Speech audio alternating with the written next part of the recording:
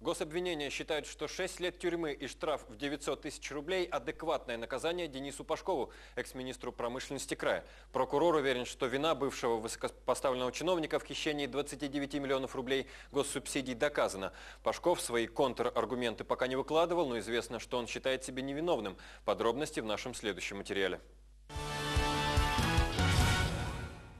Сегодня прокурор попросил 6 лет лишения свободы для бывшего министра промышленности края Дениса Пашкова. Напомню, его обвиняют в мошенничестве, совершенном в особо крупном размере по сговору с бывшим директором Септежмаша Павлом Лусниковым. Прокурор выступал с обвинительной речью почти три часа. Прочитать за раз больше 60 страниц текста ему было сложно, поэтому заседание прерывали на 10-минутную паузу. Шесть лет для Пашкова, который попросил прокурор, это близкий к минимуму срок, поскольку у бывшего министра есть малолетний ребенок, характеризует его положительно, к тому же у него есть хроническое заболевание. Максимальное наказание по статье 159 части 4 «Мошенничество в особо крупном размере», что и вменяют Пашкову, это 10 лет. Преступными действиями Пашкова была в государственной власти, дискредитировано важнейшее направление деятельности исполнительной власти, власти связанное с управлением промышленностью. Назначить Пашкову наказание в виде 6 лет лишения свободы в исправительной колонии общего режима со штрафом в размере 900 тысяч рублей.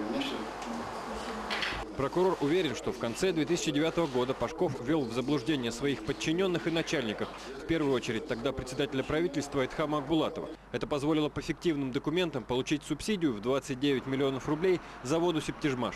По мнению гособвинения, интерес Пашкова в этом преступлении был в договоренности с бывшим владельцем завода, что часть денег пойдут на погашение долгов за энергию. Пашков в то время руководил еще и Красноярск энергосбытом. Сегодня адвокаты экс-министра должны были изложить свою позицию, но они попросили суд отложить заседание. В связи с тем, что сегодня в рамках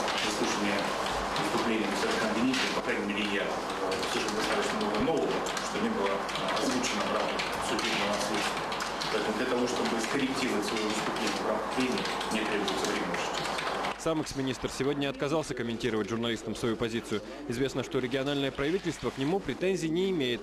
Власти не признают себя потерпевшими, потому что ущерб в 29 миллионов рублей уже возмещен.